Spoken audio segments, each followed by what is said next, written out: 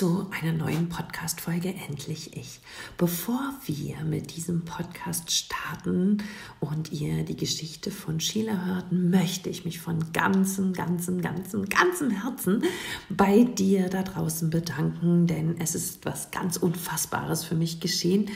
Bei dem Red Fox Award konnte ich doch tatsächlich durch dich und meine liebe Community einen unfassbar guten dritten Platz erlangen. Und ich bin mega, mega dankbar dafür. Und ehrlicherweise habe ich damit nicht gerechnet, da so viele gute Coaches nominiert waren. Auch Coaches, die wirklich schon viel länger arbeiten als ich und viel, viel mehr Follower haben und schon ewig einen Podcast. Und naja, deshalb war es für mich fast unmöglich, unter die ersten drei zu kommen. Und ja, ich habe nicht mit dir gerechnet und mit euch und mit all eurer Liebe und äh, mit eurem Support. Und dafür möchte ich euch aus tiefstem Herzen danken. Es bedeutet mir wahnsinnig viel, dass so viele ähm, ihre Stimme mir geschenkt haben, weil sie meine Arbeit lieben und ja, weil sie einfach für mich gewotet haben. Und deshalb ein ganz dickes und großes Dankeschön dafür. In dem Podcast jetzt mit Sheila geht es ja darum, dass sie in einer narzisstischen Familie groß geworden ist, die auch noch zu den Zeugen Jehovas gezählt haben. Und wenn du in einer toxischen Familie groß geworden bist, dann schau dir unbedingt auf meiner Homepage den Kurs Befreie dich aus der Toxizität deiner Familie und schütze dein inneres Kind das ist ein so, so wertvoller Kurs und es kommen so viele Mails immer rein, die sich bedanken dafür, dass sie endlich dieses Konstrukt, äh, diese Muster aus der Kindheit sich anschauen konnten mit diesem Kurs und auch transformieren konnten, lösen konnten, verstehen konnten, analysieren konnten und vor allem, dass alle A verstanden haben, sie sind nicht schuld und B ja, einen guten Weg gefunden haben, nach diesem Kurs mit ihren Eltern umzugehen oder aber auch nicht mehr umzugehen. Das ist dann ganz individuell das, was du danach entscheiden kannst. Ich packe den Link zu dem Kurs Befreie dich natürlich in die Show Notes unter diesem Video, unter dem Podcast und dort kannst du ihn dir dann ähm, kaufen. Jetzt aber ganz, ganz viel Spaß mit Sheila und gute Erkenntnisse. Und ja, ich bin gespannt, wie du darüber denkst. Schreib es mir gerne auf Instagram oder unter meinem Post oder Filmchen bei YouTube. Hallo und herzlich willkommen zu meinem Podcast Endlich Ich, der Podcast für dein Wohlbefinden und mehr innere Stärke. Ich bin Katja Demming, psychologische Beraterin und ich habe es mir zur Aufgabe gemacht, Menschen aus ihren toxischen Verbindungen herauszuholen und sie vor allem zurück in ihre innere Stärke zu bringen. Heute freue ich mich, äh, Sheila bei mir zu haben. Sheila hat, glaube ich, das alles schon ganz alleine hinter sich gebracht. Sie hat sich aus den toxischen Verhältnissen äh, ihrer Ursprungsfamilie herausgelöst. Sie hat ähm, viel versucht zu verstehen, insbesondere weil dieses Umfeld noch wahnsinnig prägend in ähm, religiöser Hinsicht war, denn ihre Eltern oder ihre Mutter gehörte den Zeugen Jehovas an, weil auch ihre Großeltern den Zeugen Jehovas angehörten. Und ähm, ja, in dieser Situation ist ihre Mama tatsächlich mit Sheila schwanger geworden. Dass das ein riesen Knackpunkt war für die Großeltern, für die Gemeinde und ja auch eine Riesenverantwortung für Sheila mit sich brachte. Darüber wollen wir heute in diesem Podcast sprechen. Sheila, vielen Dank, dass du da bist. Ja, vielen Dank für deine ähm, Einleitung, Anja, äh, Katja, Entschuldigung. Ähm, ja, es freut mich sehr, dass ich ähm, heute hier sein darf und von meiner Geschichte erzählen darf. Und ja. Ja, sehr schön, dass du da bist. Ähm, du hast ja ähm, mir im Vorgespräch schon erzählt, dass du eher so in einem sehr narzisstischen Umfeld aufgewachsen bist, was eben, wie eben schon angekündigt ist, durch diese ja religiöse Zugehörigkeit der Zeugen Jehovas ja nochmal ein anderes ähm, ja, eine andere, andere Farbe, wie will ich sagen, noch eine andere Schwere vielleicht sogar oder eine, eine größere Regel oder Reglementierung mit hereingebracht hat. Ähm, du, deine Mama hat dich bekommen, ohne dass klar war, wer dein Vater war.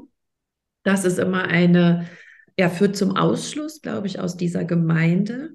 Und wie hast du als Kind deine Mutter, diese Religiosität, ja, dein Aufwachsen so wahrgenommen, mit dem Blick natürlich einer Erwachsenen drauf? Also, ja, also es war so, dass meine Mutter, die ist äh, schwanger geworden und bei den Zeugen Jehovas bedeutet es den Ausschuss aus dieser Gemeinde. Ähm, nun war es so, dass sie trotzdem bei meinen Großeltern gewohnt hat. Wir hatten da ein Haus äh, mit zwei Wohnungen. Die Großeltern haben unten gewohnt, sie hat oben gewohnt. Sie ist auch ähm, kurz nach meiner Schwangerschaft wieder arbeiten gegangen. Von dem her war meine Oma dann in der Pflicht, würde ich jetzt mal sagen, auf uns aufzupassen, was ja zur damaligen Zeit auch unüblich war. Erstens, dass man alleinerziehend ist und ähm, ja, dass man das dann irgendwie gehandelt gibt, weil diese Elternzeit, die gibt es dann auch gar nicht so lange. Das, das stand meiner Mutter ja damals gar nicht zur Verfügung. Ja, und wie habe ich das wahrgenommen? Es waren für mich irgendwie schon zwei verschiedene Welten. Also ich hatte das Glück, muss ich fast schon sagen, dass ich nicht in diese, äh, in diesen Glauben so extrem mit eingebunden bin, worden bin, weil es war so, dass, ähm, dass wir schon immer wieder mal in diese Versammlung, in diese Gemeinschaft mit hin mussten. Und es waren halt ähm, man trifft sich da dreimal in der Woche und das ist auch wichtig bei den Zeugen Jehovas, dass man sich viel sieht, dass man auch kaum Kontakt hat zu anderen, weil man geht da seinen Weg. Die Zeugen Jehovas glauben ja daran, dass irgendwann ähm, Hamagedon kommt und das Paradies dann entsteht. Also diese Welt, in der wir leben, die ist laut den Zeugen Jehovas schlecht und böse. Und sie wünschen sich eine bessere Welt. Und ähm, wenn sie fleißig da in die Versammlung, auf die Zusammenkünfte und ihre Sachen da machen, dass sie letztendlich dann ins Paradies kommen. Und die Regeln sind da sehr streng und meine Mutter hat halt gegen die Regeln verstoßen, indem dass sie erstens und nicht verheiratet war, weil das ist auch sehr wichtig. Und dass sie halt daraus jetzt auch noch schwanger geworden ist. Und ich habe das für mich so erlebt, dass meine Großmutter sehr prüde war, also das, das habe ich in, in, solchen Situationen erlebt, wenn ich mal einen Film angeschaut habe und die haben sich da geknutscht, dann ist meine Oma völlig ausgerastet, so nach dem Motto, was, was, was, was tun die da? Und meine Mama, die war eher so diese, die so ein bisschen, äh, ja, das, das waren ihr zu viele Grenzen und sie ist immer gegen diese Grenzen. Also sie, Grenzen hat, galten für meine Mutter oft nicht oder sie hat sie überschritten oder wie auch immer, was sehr verständlich ist, wenn sie dann in, in so eine Kindheit hatte, die voller extremer Grenzen war. Mhm. Also, ja. Und für mich war das irgendwie, es waren halt einfach in diesem Haus zwei verschiedene Welten und ich habe auch die Stimmung mitbekommen. Die haben sich, haben sich zwar unterhalten, halt aber auch nicht so gesellig, wie man sich vielleicht normal unterhält. Du hast irgendwie zwischen den Zeilen immer lesen können, da ist was, was man, was nie ausgesprochen worden ist. Mhm. Hast du heute einen Zugang zu dem Gefühl, was so vorherrschend in deiner Kindheit in dir war? Ja, letztendlich Ringen nach Aufmerksamkeit. Mhm. Das ist dieses, also ich habe enorm früh äh, durch das, dass meine Mama ja mit mir schwanger war und sich dazu entschieden hat, dieses mich zu bekommen, habe ich ja letztendlich schon die Verantwortung bekommen, ich muss die Mama glücklich machen. Mhm. Und von dem Zeitpunkt an, mein, mein, ich hatte noch einen Bruder oder ich habe noch einen Bruder, der kurz eineinhalb Jahre nach mir kam. Und ähm, von dem her hatte ich von Anfang an eigentlich die Verantwortung, die Mama mhm. glücklich zu machen. Und es hat sich halt dann so ausgewirkt, äh, dass ich halt die Mutterrolle übernommen hatte. Also mhm. wenn die Mama traurig war, habe ich die Mama getröstet. Die Mama hat ganz viel gearbeitet, die war ständig gestresst, hatte ständig viel zu tun, also habe ich auch den Haushalt geschmissen. Selbst das war oft nicht gut genug. Also ich habe ja dann auch irgendwann, das weiß ich noch, habe ich Listen geführt, um ihr aufzuziehen, was ich denn heute schon alles gemacht habe. Mhm. Also es war eigentlich ein Ringen nach Aufmerksamkeit, weil ja, und irgendwie hatte ich immer das Gefühl, ich bin dann trotzdem nicht genug, obwohl ich so Mhm. viel mache. Ja, es klingt unfassbar anstrengend, ne? So wirklich Hm. ähm, alles zu leisten und alles zu geben und dann, um dann wieder zu erfahren, dass es wieder nicht gereicht hat. Jetzt war aber nicht nur deine Mutter in deiner Kindheit sehr prägend, sondern da gab es auch noch einen Mann, der dich, ähm, ja, der dich geprägt hat, auch mit einer, ähm, ja, sehr narzisstischen Art. Wann ist der denn in dein Leben getreten und wie hat Du dich das redest jetzt von meinem Arbeitgeber, oder? Von meinem Chef, oder? Ja, ich hatte das so verstanden, dass der relativ früh in dein Leben getreten ist, oder war das erst dann? das war dann schon eher in der Jugendzeit. Also mit 15 hatte ich die Schule beendet und habe mir eine Ausbildung gesucht und bin dann prompt, ähm, naja, auch an einen narzisstischen Chef geraten. Okay. die, ja. Das heißt, da habe ich dann was im Vorgespräch falsch verstanden. Da bitte ich um Entschuldigung, wenn du gern nochmal zurückgehen möchtest und ähm, aus deiner Kindheit noch was gerne teilen möchtest, dann mach das gerne vorher. Hm, Also was ich glaube ich, was, was, was ich nochmal aufgreifen will, was, was du vorhin ähm, anders verstanden hattest. Also meine Mama hatte einen Partner, da war ich ungefähr acht Jahre alt und ich habe eigentlich, seitdem ich klein bin, habe ich mir einen Papa gewünscht. Und immer wieder, wenn sie weggegangen ist, abends mit ihren Freundinnen, habe ich, bin ich auf der Couch rumgesprungen und habe, Mama, Mama, suchst du uns heute einen Papa? Und irgendwann hat sie halt mal jemanden mit nach Hause gebracht und ähm, in den war ich eigentlich vollkommen verliebt. Also das war mein Papa, endlich, endlich habe ich jemanden. Und ich glaube, das lag auch daran, weil ich einfach nie diesen Draht mit meiner Mama hatte. Ich hätte einfach so einen Ausgleich gebraucht weil ich mich halt oft mit ihr gestritten habe. Wir waren uns auch nie einig. Ich bin halt auch von der Persönlichkeit ein ganz anderer Mensch und da hätte ich mir einfach immer jemanden, ja, auch an meiner Seite gewünscht, der mich versteht. Und dieser Mann, der war, ähm, das war einfach mein Papa-Ersatz und das war ein sehr prägendes Ereignis, weil der ist dann eigentlich, nach ein paar Jahren hatte der einen Gehirntumor und ist dann relativ schnell gestorben. Also Hm. das ging innerhalb von sechs Monaten war es dann so. Und ich weiß auch noch den Tag, da hatte ich einen Wandertag und als diese Nachricht kam, also ich weiß auch noch, was ich an dem Tag gegessen habe. Also es hat, war sehr einschneidend für mich. Und diese Sehnsucht nach einem Papa, die war trotzdem da. Und irgendwann habe ich halt dann in den Jugendamtunterlagen geforscht, heimlich, bei meiner Mama zu Hause in den Ordnern und habe da quasi eine Adresse gefunden ähm, von meinem Papa und habe da einfach ein Foto mit einem Brief an ihn geschickt und irgendwann kam auch eine Antwort und dann musste ich halt auch meiner Mama erzählen, was ich da gemacht habe. Und es kam dann zu einem Treffen. Aber es war halt irgendwie diese Bindung, die war nie richtig da. Mhm. Das heißt, dieser Genau. Ersatzvater, den du dann leider auch wieder früh abgeben musstest, war ehrlicherweise so derjenige, der am meisten Vatergefühle, sag ich mal, oder ja, Gefühle für einen Vater in dir ausgelöst hat. Kannst du es uns erklären, was er dir gegeben hat, was du so an ihm geliebt hast oder was so anders war, dass du zu ihm so eine schöne Beziehung aufbauen konntest, wie du sie ja anscheinend zu deiner Mutter nicht hattest? Ich glaube, der hat mich einfach so genommen, wie ich bin. Der hat mich da nicht ver verbiegen wollen. Also Mhm. ich habe da auch nicht in irgendeine, so ich glaube, der hat mich wirklich so genommen, wie ich bin. Hattest du nicht das Gefühl, erst was sein zu müssen oder was leisten zu Genau. müssen, sondern es war so gut. Ja. Und er hat sich für dich interessiert? Ja. Ja. Aber Okay. halt leider nur eine kurze Zeit. Wie alt warst du, als er dann gestorben ist? Ungefähr. Also ich meine sogar, dass ich da acht war. Und so Okay. mit sechs Jahren, sechs, also ich glaube, ein bis zwei Jahre waren die zusammen. Mhm. Ja. Und wie war es für dich, als du dann deinen leiblichen Vater kurz gesehen hast? Wie hat sich das angefühlt? Also da war ich auch, also relativ, ich weiß noch, diese, dieses Kennenlernen war so emotional, dass ich halt auch richtig geweint habe. Und das war einfach, ja, ich habe mir einen Wunsch damit erfüllt. Mhm. Und es war dann schon so, dass dann in dieser Anfangszeit, dass ich dann immer wieder mal zu ihm gefahren bin und ich auch einen Urlaub mit ihm verbracht habe. aber so eine, bis heute ist da eigentlich keine richtige Bindung. Und was natürlich dann auch noch rauskam, das war dann so für mich irgendwie so, hä?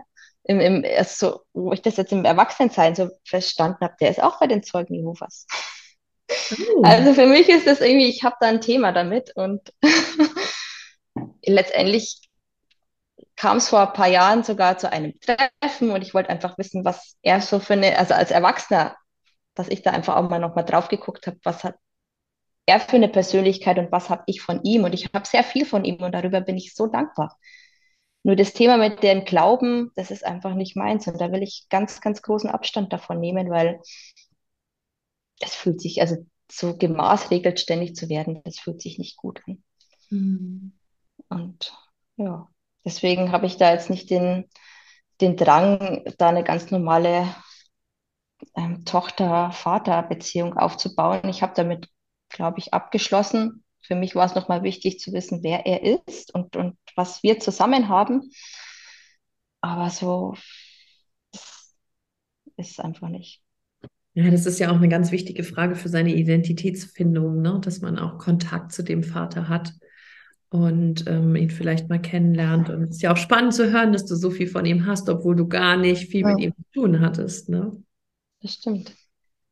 Wie würdest du die Beziehung zu deiner Mutter beschreiben? Was hattet ihr? Ihr hattet ja eigentlich eine Mädchen-WG, wo man denken könnte, ja, wir zwei, wir trotzen Wind und Wasser.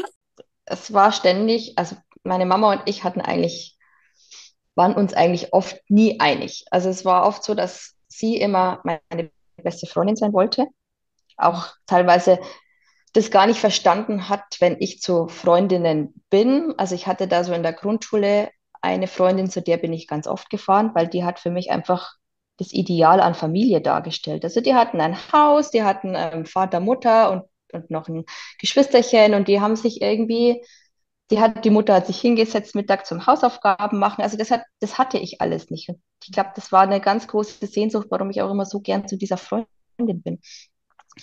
Ja, und meine Mama, die war halt immer die coole, die ein cooles Auto gefahren hat, ähm, die natürlich auch nie Zeit war. Also ich konnte mich auch nie auf meine Mutter verlassen. Also das war, also sie hat viel gearbeitet, ja, aber das war halt auch oft so, dass ich in der Arbeit angerufen habe, Mama, wann kommst du heim? Ja, ich komme gleich. Und dann war sie zwei Stunden später immer noch nicht da. Also als Kind ist das eine sehr lange Zeit. Ich stand eine Ewigkeiten am Fenster und habe immer geguckt, wann das Auto kommt. Und das, ja, das ist mittlerweile auch so ein, dieses sich auf, aufeinander verlassen können, das konnte ich auf meine Mama nie und das ist auch mir mittlerweile ein sehr wichtiger Wert. Also ich merke, dass so, so Werte, die ich als Kind nicht erfahren habe, die sind mir heute sehr wichtig. Mhm. Und da gehört die Verlässlichkeit einfach dazu. Mhm. Und ja, sie wollte halt immer nach außen hin die tolle, coole Mama sein. Mhm. Und wenn ich dann zurückdenke, so aus, bis ich ausgezogen bin, ich weiß es noch, als ich ausgezogen bin, da hatte ich einen Freund. Erstens saß er dann schon immer ganz traurig auf der Couch, wenn ich mal abends zu meinem Freund gefahren bin. Da war ich dann schon so 22, 20 rum. Und hat ein, ein, ein Gesicht gemacht, wie die Traurigkeit schlechthin, weil ich jetzt zu meinem Freund fahre und nicht die Zeit mit ihr verbringe.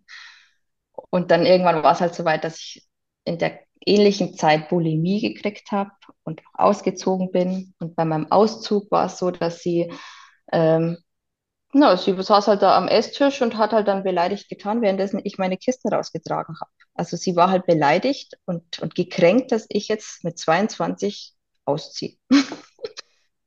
Was ein normales Alter ist, um sich, um Flügge zu werden. Und ja, und hatte halt auch nach diesem Auszug immer wieder das Gefühl, ich muss die Mami glücklich machen und ich besuche sie einmal in der Woche. Und aber eigentlich hat sich das immer wie so eine Pflicht und anstrengend angefühlt. Weil während dieser Besuche war ich ja gar nicht präsent. Es war ja nicht so, ach, endlich bist du da, sondern mh, hm, ja, so nach dem Motto, dass sie ja eigentlich gerade was anderes macht oder mh, hat mir dann oft in Ge Gesprächen gar nichts zugehört. Also es war, ich war dann sie hat mir einfach das Gefühl vermittelt, dass ich nicht wichtig bin. Mhm.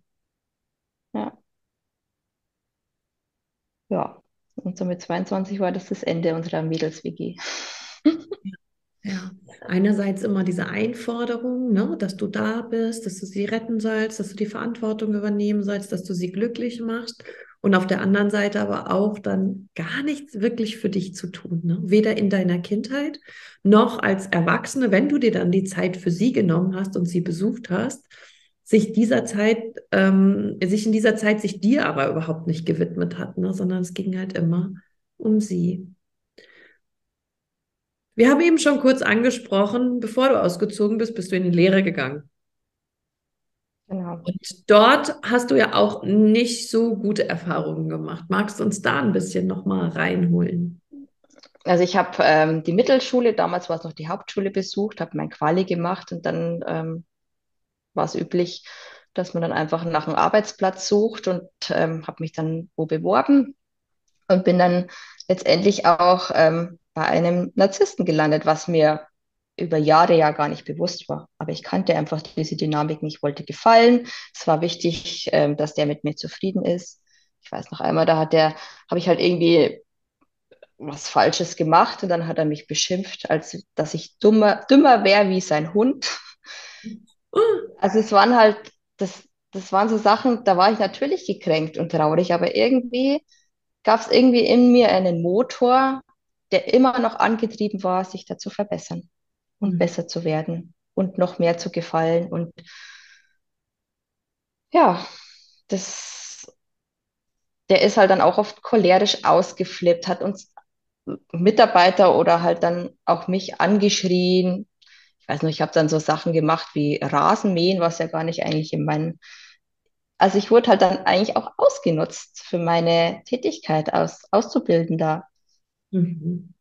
Ja, und ich kann mich auch noch, da war ich dann schon länger einfach, ich war halt einfach so, ich habe mich halt dann so hocharbeitet, dass ich halt auch die rechte Hand des Chefs war und ähm, weiß aber noch, dass ähm, es da einen Arbeitstermin gab, der am Wochenende stattgefunden hätte und ich eigentlich von, von meinem Arbeitsstundenpensum schon durch war und er trotzdem verlangt hat, dass ich da komme, weil wenn die andere Mitarbeiterin kommt, die wohnt ja weiter weg. Also deswegen, ich wohne ja in der Nähe, deswegen habe ich auch da zu sein. Mhm. Und es war irgendwie auch so verletzend für mich, dass das, ja, dass ich wohl nicht so viel wert sei wie die andere, weil die andere kriegt jetzt frei und ich muss trotzdem da sein zum Arbeiten. So hat sich das angefühlt. Ja. Und das hat sich halt, wir haben halt dann auch irgendwann die Gebäude gewechselt, haben uns da in unserer Firma vergrößert. Da ist natürlich das Arbeitspensum gewachsen. Ich wollte natürlich auch gefallen, wollte eine gute Leistung bringen. Ja, und dann irgendwann war es halt für mich dann so weit, dass ich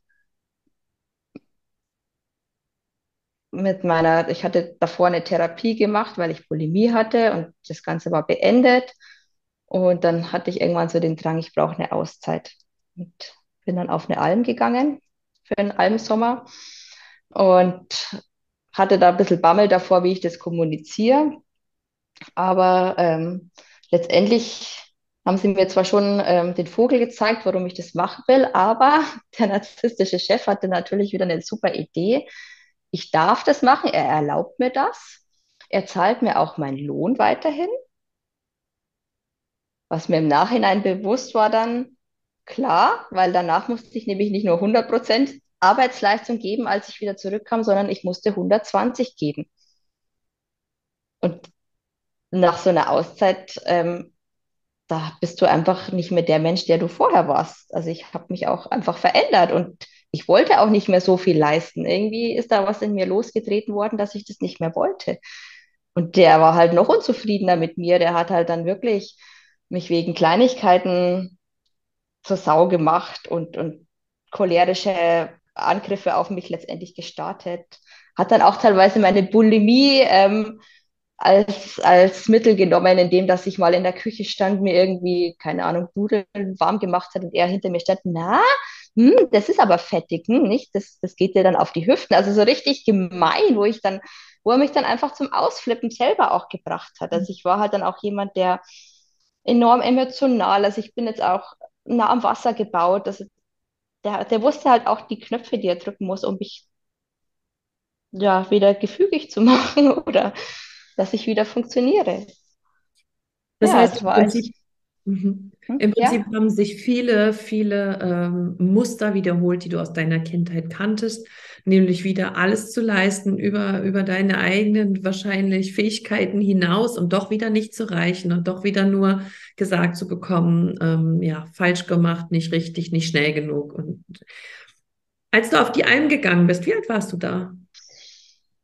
Mm, da war ich so 27 rum. Das heißt, deine, du hast ja in deiner Kindheit nicht wirklich richtig gelernt, Grenzen zu setzen. Das hat sich dann nochmal deutlich gezeigt, dann auch in der, in der Ausbildungsphase oder auch nachher noch im Arbeitsverhältnis. Und ich würde jetzt mal von dem, was ich jetzt von dir weiß, sagen, dass du so, als du ausgezogen bist, angefangen hast zu sagen, hier muss ich jetzt mal Abstand haben, hier muss ich mir mal eine Grenze zu ähm, meiner Mutter holen. Und die hat es dir auch wahrlich nicht leicht gemacht, da beim Auszug. Wie würdest du sagen, woher hast du diese Kraft genommen, dass da jetzt irgendwas passieren muss? Wie hast du das gemacht? Ich könnte mir vorstellen, dass viele Hörerinnen und Hörer in jetzt denken, oh Mensch, ich würde auch gerne, aber ich weiß nicht wie, ich habe ein schlechtes Gewissen, ich schäme mich. Ich... Ja, wie hast du es gemacht? Also das kann ich dir gar nicht so richtig beantworten, Katja. Also eigentlich, wenn ich, ich das, das denke ich mir ganz oft, wo nehme ich eigentlich diese Kraft und wo nehme ich das her? Aber ich glaube, ich habe ein sehr gutes Bauchgefühl. Und dieses Bauchgefühl, das leitet mich. Und so wie ich das auch bei, bei deinem Podcast oft raushöre, dass, dass viele auch gar nicht mehr so ein gutes Bauchgefühl haben, weil einem das ja ständig ausgeredet wird, diese Gefühle. Und ich glaube, ich hatte das Glück, dass meine Mama so viel arbeiten war und ich sehr viel Zeit mit mir alleine verbracht habe. Und ich glaube, daher kommt es, dass ich noch so ein gutes Bauchgefühl und mit mir irgendwie, dass ich einfach ja, dass ich da sehr darauf vertrauen kann. Denn wenn ich jetzt überlege, diese ganzen Schritte, die ich gegangen bin, die hängen alle irgendwie mit diesen Entscheidungen, mit meinem Bauchgefühl zusammen. Oh, das klingt spannend. Magst du uns da noch ein bisschen genauer ähm, was darüber erzählen, welche Schritte du durch dein Bauchgefühl geleitet gegangen bist? Ja, letztendlich diese Auszeit war ja ähm, dieses ähm, Bauchgefühl, dass ich da einfach für mich gemerkt habe, ich muss jetzt da einfach mal was anderes machen. Ich musste einfach mal Abstand gewinnen. Ich habe mein, nach dieser Auszeit, das war irgendwie, also ich muss wirklich danach ein anderer, also in dem Moment habe ich das gar nicht so wahrgenommen, aber ich muss jemand als, als ein anderer Mensch zurückgekommen sein, weil ich auf einmal auch meinen Mann kennengelernt habe und der passte überhaupt nicht in dieses narzisstische Beuteschema. Das war ein ganz, also der ist auch, der ist einfach jemand, der gut mit sich selber im, im Leben steht und ähm, ja, ein sehr ausgeglichener Mensch. Und ich, also diese, diese Typ Menschen, die so ausgeglichen sind, die haben mich ja eigentlich gar nicht so gereizt. Ich wollte immer so ein bisschen die, naja, so ein bisschen die risikoreichen Typen haben, die so ein bisschen, ja, die Bad Boys ein bisschen. Hatte aber das Glück, dass ich nie in so einer richtigen narzisstischen Beziehung war. Also das war, glaube ich, mein großes Glück. Mhm. Ja, und was, was noch alles nach meinem Bauchgefühl entschieden worden? Ähm, ja, auch dann, ich habe dann, wir haben relativ bald geheiratet und auch ein Kind bekommen. Wir haben jetzt mittlerweile auch drei Kinder und irgendwann nach meinem dritten Kind habe ich dann mal mein, mein Bauchgefühl entschieden, hey, ich brauche eine ganz, ganz große Auszeit von meiner Mama. Mhm. Also wenn die da ist, habe ich ein viertes Kind da und das über, ich bin völlig überfordert. Weil wir halt dann klassischerweise wieder in diese Rollen gefallen bin. Ich bin die Mutter, sie hat sich da aufgeführt wie so ein kleines Kind. Das mit meinem, mit meinem Kind überall ähm, die Aufkleber hingeklebt hat. genau, also das war, also das war auch so ein, so ein Bauchgefühl, dass ich einfach für mich entschieden habe, nee, also ich muss da jetzt erstmal Ruhe reinkriegen. Ja. Und ja, letztendlich Mehr Beispiele habe ich jetzt gar nicht. Was jetzt so. Dann, dann erzähl doch nochmal, wie das dann war, als du entschlossen hast, Abstand zu nehmen. Kamen da Schuldgefühle in dir hoch oder wie ist deine Mutter ja. damit umgegangen?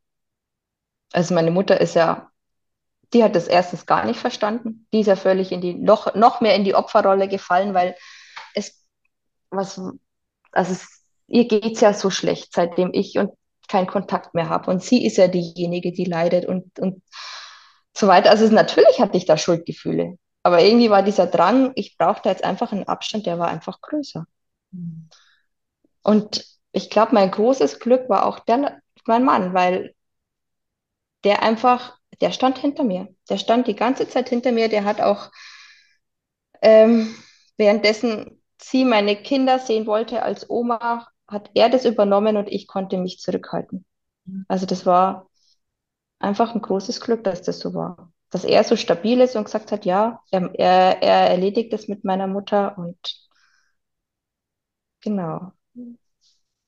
Und jetzt habe ich so ein bisschen den Faden verloren, dein, deine Frage verloren. Ja, wie das für dich war, weil ähm, viele, die irgendwie in toxischen Familien groß geworden sind und irgendwann für sich entscheiden, Abstand zu nehmen, ist ja äh, sehr, sehr große Hürde, insbesondere wenn die Eltern dann auch älter werden. Ne? Darf ich das? Darf ich mir das erlauben? Darf ich die mhm. fallen lassen? Weil das klingt ja bei dir jetzt auch so, als wenn du kaum noch Kontakt zu ihr hast, also oder Telefoniert ihr noch? Seht ihr euch noch? Also der Kontakt ist mittlerweile ähm, nicht mehr da.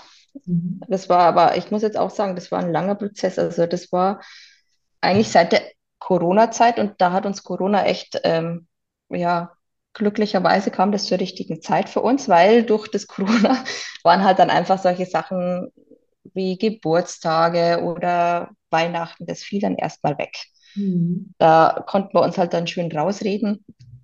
Und ähm, das war aber, das, das hat sich trotzdem gezogen wie ein Kaugummi. Ich wusste zwar, ich hatte, also was ich ganz sehr hatte, ich hatte einfach auch ganz große Angst. Mhm. Und diese, selbst wenn ich das rational verstanden habe, wie so ein Narzisst tickt oder wie so die Schritte sind, diese Angst körperlich, die war, na, also die ist ganz oft noch da gewesen. Also ich weiß noch, wie ich dann teilweise das Zittern angefangen habe, wie sich der Oberkörper zumacht. Das dauert einfach lange. Selbst wenn du das rational verstanden hast, das ist da. Und ich glaube, da ist, was mir halt einfach auch sehr geholfen hat, einfach auch auf meine Beziehungen zu achten. Die Menschen, die ähm, in meinem Umkreis sind, also ich habe, ich glaube sogar, dieser Narzissmus, diese Erfahrung aus meiner Kindheit hat mich sogar dazu bewegt, was ja vielleicht jemand, der gesund aufgewachsen ist, ja nie macht. Aber ich habe einfach auch mal meine Freundschaften, ich habe da mal die Karten umgedreht und habe mir überlegt, ist das wirklich eine Freundschaft? Gibt, was gibt die mir oder was kann ich ihr geben? Auf welcher Basis ist denn diese Freundschaft? Und habe da halt die Menschen um mich rum einfach so ein bisschen äh, genauer angeguckt. Mit wem umgebe ich mich da? Auch mein, mein ganzer Alltag, das war ja teilweise, ich war so voll gepumpt mit Stress und dem will ich gefallen, hier will ich noch was machen, da will ich noch was, was, was, was backen und, und hier und da, dass ich da einfach schauen musste, das Ganze zu entzehren. Und das hat dazu geführt, dass ich ähm, ja mal vieles beleuchtet habe. Ich bin einfach mal mit der Lupe über vieles rübergegangen. Mhm. Und das Thema Freundschaft, das, das war echt ein, ein, ein, ja, längerer Prozess, wo ich mir dann einfach die, die Menschen angeschaut habe und mich entschieden habe, ja, du bist mein Wegbegleiter. Und Du hast ja im Vorgespräch mir erzählt, dass narzisstische Freundschaften anders beginnen und dass du sie wahrscheinlich jetzt sehr gut früh erkennst. Aber wahrscheinlich hast du auch schmerzvolle Erfahrungen da gemacht mit diesen ja zwischen Freunden? Wie bist du damit umgegangen oder was hast du erfahren? Also ich hatte ähm, vor ein paar Jahren jemanden kennengelernt, die war relativ schnell. Wir waren auf einer Wellenlänge und ähm, naja, die hatte dann auf einmal die, die hatte die gleichen Interessen wie ich. Und, und bei manchen Themen dachte ich mir so, ich bin jetzt ein sehr nachhaltiger Mensch, mir ist das auch sehr wichtig. Da hat sie gesagt, sie, sie ist es auch, aber es hat sich dann so manchmal so ein bisschen überschnitten, wo ich mir gedacht habe, hä, dass sie das jetzt so macht, finde ich jetzt irgendwie komisch, obwohl sie gesagt hat, dass sie was ganz was, also das Gleiche macht wie ich. Und das hat mich schon so ein bisschen stutzig gemacht. Trotzdem ähm, war das okay. Und das war halt so ganz schnell sehr intensiv. ganz viel. Dann hat sie mir auch ganz viel geschenkt und immer wieder was vorbeigebracht. Da ist gerade meine dritte Tochter geboren und dann gab es ein, ein, Geschenk, was einen Wert von 50 Euro hatte. Also so ein bisschen, wir waren jetzt nicht ganz so fest, so, so lange beieinander und dann gab es schon sowas. Und dann ist es aber dann irgendwann, ich weiß nicht, nach einem Jahr ist es dann irgendwie, zack, von heute auf morgen war es vorbei. Und auch wenn ich die dann irgendwo getroffen habe, die hat mich eigentlich ignoriert. Also die hat quasi mich nicht mehr. Und dann, dann kam halt in mir so ein Gefühl, oh je, was habe ich gemacht? Angst. Angst, diesen, also ich, obwohl ich dieses Narzissmuswissen dann schon hatte, war dann trotzdem lange Zeit so ein Angstgefühl. Oh je, die wollen mir was Böses, diese Narzissten. Also da, da weiß ich noch, da bin ich auch durch so eine Zeit gegangen, wo ich immer wieder Angst hatte, diesen Leuten zu begegnen. Und ähm, ja, das hat sich auch erst einspielen müssen. Also ich glaube, da ist halt einfach auch der Selbstwert. Bis dein Selbstwert wächst, bis du da so drüber stehen kannst, das dauert einfach seine Zeit. Also das, das ist mir schon auch wichtig, dass das auch viele verstehen, dass es nicht, wenn man das jetzt mal kurz macht, dass das von heute auf morgen, dass man das verstanden hat, sondern das braucht seine Zeit. Also. Absolut. Und ich meine, du hast ja zwei Sachen, zwei Triggerpunkte eigentlich erfahren mit dem plötzlichen Wegsein deiner Freundin. Ne? Einmal die Unzuverlässigkeit deiner Mutter, ne? dass sie sich jetzt dann einfach auch nicht mehr gemeldet hat, dich ja quasi geghostet hat. Wenn man jetzt mal in der, in der. Partnerschaftsebene bleiben würde, würde man das so nennen. Oder man kann es natürlich auch da so nennen.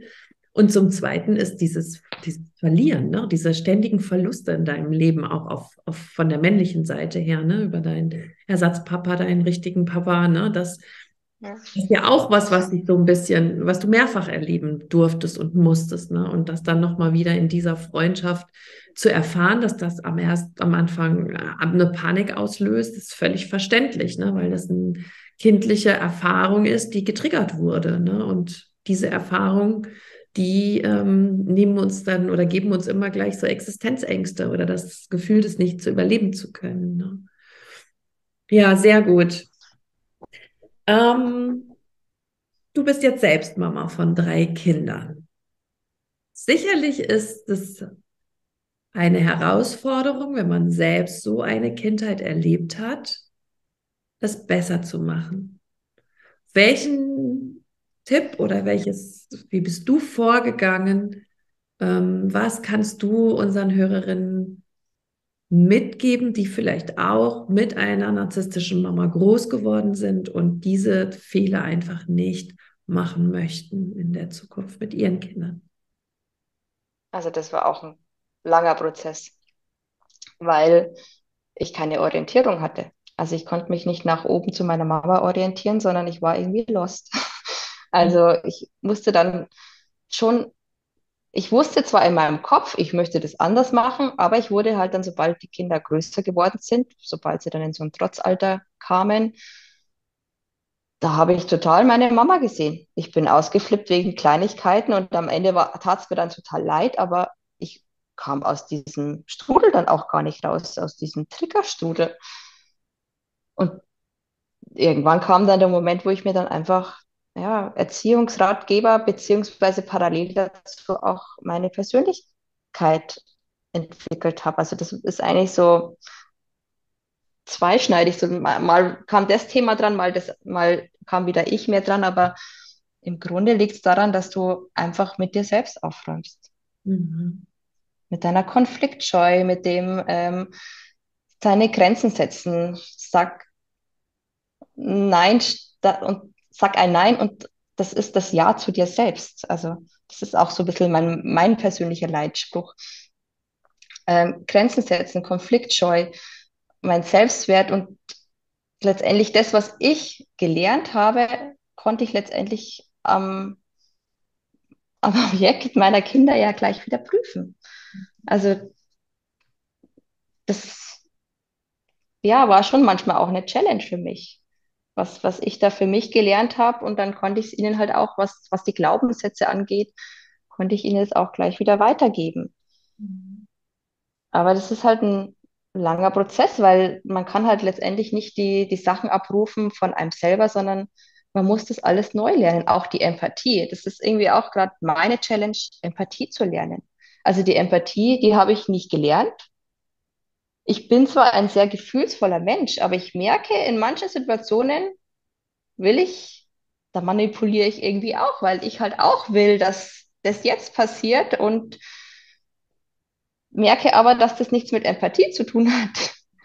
Und das ist, also, das ist schon, da bin ich sehr dankbar drüber, dass man es lernen kann. Aber ich merke auch, dass das halt einfach Schritt für Schritt geht, dass ich halt da jetzt für mich merke, die Empathie zu lernen. Ja. Vor allem Themen, die vielleicht mir jetzt nicht so gefallen, dass man da trotzdem empathisch reagiert. Mhm. Und das ist auch so schmerzvoll, das einfach auch anzuschauen ne? und zu, sich einzugestehen, hey, ich habe mhm. da ein Defizit. Ja, weil letztendlich äh, als Mama möchtest du ja alles mitbringen, was, was die Kinder brauchen und was du denen geben willst. Und also ich würde auch sagen, genauso wie du, es geht nicht anders, als dass man sich den ganzen Themen stellt. Und zwar von der Kindheit an.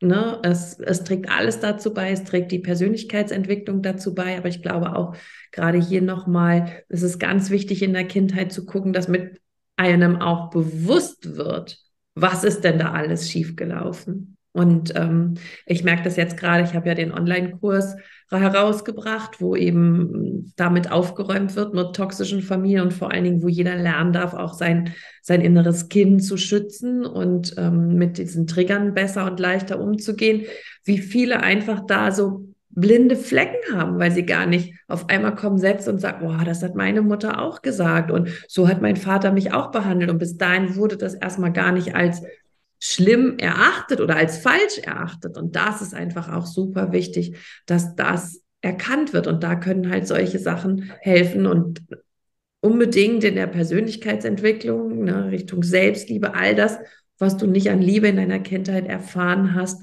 dir selbst zu geben.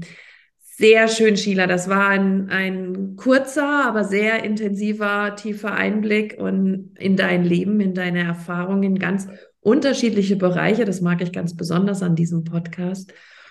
Wenn du abschließend den Hörerinnen und Hörern noch deine wichtigste Erkenntnis mitgeben möchtest, was ist das? Ähm, achte auf die Signale deines Körpers. Dazu möchte ich noch ganz kurz noch erwähnen, dass ich einfach 18 Jahre an Migräne gelitten habe. Was ich mitgeben will, ist, achtet auf eure körperlichen ähm, Signale, denn ich hatte 18 Jahre lang Migräne und ich hatte einfach in meinem Nackenschulterbereich ein riesiges Päckchen. Und sobald ein Thema aufkam, hat sich das zugezogen und am Ende lag ich dann mit Migräne im Bett. Ähm, achtet auf eure Werte, überprüft die, nach welchen Werten handeln wir, weil ganz oft handeln wir nach etwas und kennen unsere Werte gar nicht. Ähm, das tat uns als Familie auch mal gut zu schauen, was sind denn unsere Werte? Und wonach handeln wir? Was ist uns wichtig? Ob es die Höflichkeit ist, dass ich nur höflich mit, dass jemand nur höflich mit mir spricht und ich auch höflich mit dir spreche, oder ob es ähm, die Zuverlässigkeit ist, dass ich Zuverlässigkeit selber möchte, aber auch Zuverlässigkeit selber gebe. Dann ist mir auch noch wichtig mitzugeben, achtet auf eure Beziehungen. Mit wem umgebe ich mich? Wer gibt mir Energie oder wer räubert mir Energie? Also einfach nochmal zu schauen, was habe ich für, für Menschen um mich, die mich quasi auch ähm, durch, durch meine Probleme leiten? Geben die mir gute Ratschläge oder ähm, saugen die mich eher aus? Also mein Mann ist jemand, der, der sehr stabil im Leben steht und ich muss auch sagen, das war auch mein Heilgrund, warum ich an, ich konnte an seiner Seite heilen, weil er einfach so unbelastet in dem narzisstischen Feld ist. Also sehr stabil.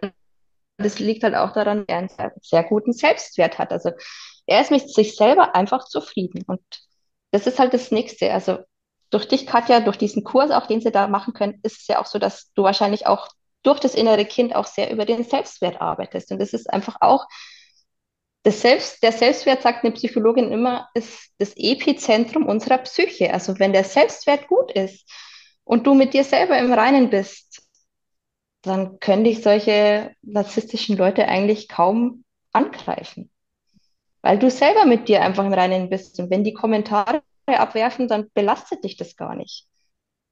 Und ja, also das sind so, und höre auf dein Bauchgefühl. Also wenn ich jetzt so raushöre immer wieder, dass man in einer narzisstischen Familie ein schlechtes Bauchgefühl hab, hat, das weiß ich jetzt leider nicht. Ich selber habe ein sehr gutes Bauchgefühl, also hört einfach drauf. Manchmal erkennt man ja schon, was einem gut tut und was nicht. Und da würde ich einfach schon sehr darauf setzen, dass man da vertraut. Genau. Super, super schön. Wirklich vielen, vielen Dank, Sheila, dass du das heute mit uns geteilt hast. Und ich merke einfach, wie viel du selbst schon gearbeitet hast und wie weit du gekommen bist und wie sehend du geworden bist und wie dienlich dir das jetzt einfach auch in deinem Leben, in deiner Beziehung, in deiner Erziehung und ja, in deinem Standing, in deiner Persönlichkeit ist. Und ähm, ja, das finde ich gibt halt auch Hoffnung für jeden da draußen, der vielleicht heute sagt, so, ach, ich möchte auch so sein wie Sheila und so weit sein, dass ich mit meiner Mutter äh, brechen kann und für mich besser sorgen kann. Und ich glaube, dafür warst du heute ein ganz, ganz tolles Vorbild. Vielen Dank, dass du da warst.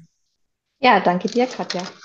Und ich möchte damit auch meine Freunden danken, die mir da einfach als Wegbegleiter immer zur Seite standen und auch die Geschichten, die ich da immer wieder erzählt habe. Es ist halt auch oft, dass man auch ganz oft immer wieder was wiederholt. Also mein Mann musste ganz oft immer wieder die gleichen Geschichten hören, weil ich glaube, ich musste das einfach immer wieder abspielen, dass ich es verstehe. Und Freunde sind dafür da, dass, dass man auch jemanden dadurch so durch so eine Zeit durchbegleitet. Ja, sehr genau. schön. Alles klar, vielen Dank, Katja, und danke, dass ich äh, meine Geschichte erzählen durfte. Ich danke dir.